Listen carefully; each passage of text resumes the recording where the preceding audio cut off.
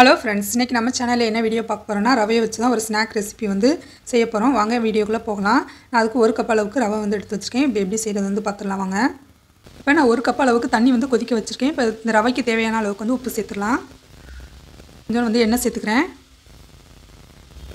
எடுத்து வச்சுருந்தா ரவையை சேர்த்துடலாம். இப்போ ரவை நல்லா சாஃப்டாக வேகணும். அடுப்பை வந்து கம்மி பண்ணி வச்சிடலாம். ரவை வந்து சட்டுன்னு தண்ணி வந்து ஈர்த்துரும்.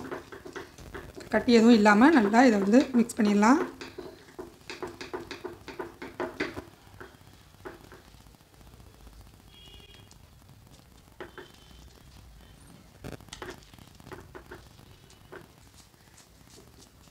இப்போ ரவை இப்போ ரவை வந்து நல்லா தண்ணியெல்லாம் ஈர்த்துருச்சு. இப்போ இதை வந்து ஒரு ரெண்டு நிமிஷத்துக்கு மட்டும் மூடி வச்சிடலாம். அடுப்பை கம்மி பண்ணி வச்சுட்டு ஒரு டூ மினிட்ஸ் மட்டும் மூடி இருக்கட்டும். இப்போ ரவை நல்லா வெந்துருச்சு. இப்போ இது நல்லா ஆறட்டும். இப்போ வந்து அடுப்பை வந்து ஆஃப் பண்ணிடலாம். இது ரவை வந்து நல்லா ஆறட்டும். அதுக்கப்புறம் நம்ம சின்ன சின்ன உருண்டையாக பிடிச்சிக்கலாம். நல்லா ஆறிடுச்சு. இப்போ இதை சின்ன சின்ன நம்ம பால்ஸாக வந்து உருட்டிடலாம். சின்ன சின்ன பால்ஸாகவே நம்ம ஊற்றிக்கலாம் அப்போ தான் வேகிறதுக்கு நல்லா ஈஸியாக இருக்கும். ஏன்னா வெளியே வந்து வேகும் உள்ளே வந்து வேகாமல் இருக்கும். அதனால் சின்ன சின்ன பால்ஸாக நம்ம ஊற்றிக்கலாம் என்ன வேணால் எண்ணெய் தடவிக்கிட்டு நம்ம உருட்டிடலாம். மாதிரி வெடிப்பு இல்லாமல் நல்லா உருட்டி எடுத்துக்கலாம். இது மாதிரி எல்லாத்தையும் நான் உருட்டி எடுத்துகிட்டு வந்துடுறேன். இப்போ ரவை எல்லாத்தையும் இந்த மாதிரி சின்ன சின்ன பால்ஸாக வந்து உருட்டியாச்சு. இப்போ எண்ணெய் வந்து சூடாயிடுச்சு. இதை நம்ம எண்ணெயில் பொறிச்சு எடுத்துடலாம்.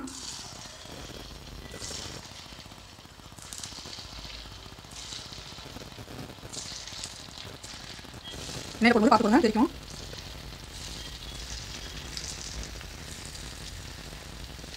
இது கொஞ்சம் வெந்ததுக்கு அப்புறமா நம்ம கரண்டி விட்டு திருப்பி போட்டுக்கலாம். உடனே கரண்டி வந்து விடக்கூடாது. பபிள்ஸ்லாம் கொஞ்சம் அடங்கியிருக்கு. இப்போ கரண்டி விட்டு நம்ம திருப்பி விடலாம். நல்லா கிறிஸ்பி ஆகிற வரைக்கும் நம்ம பொரிச்செடுக்கணும்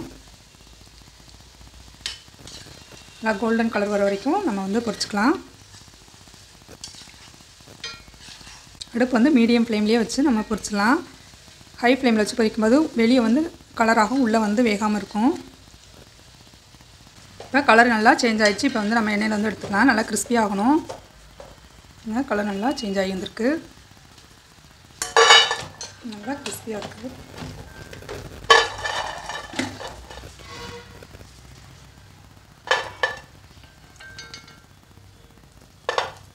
போல் நான் மீதி இருக்கிறதையும் பொரிச்சு எடுத்துடுறேன் மீதி இருக்கிற பால்ஸையும் பொரிச்சாச்சு இன்னொன்று வந்து லாஸ்ட்டாக மிளகுத்தூள் வந்து சேர்த்துக்கலாம். இது கூட சாட் மசாலா இருந்தால் சாட் மசாலா சேர்த்துக்கலாம். இது நல்லா சேர்த்துக்கலாம்.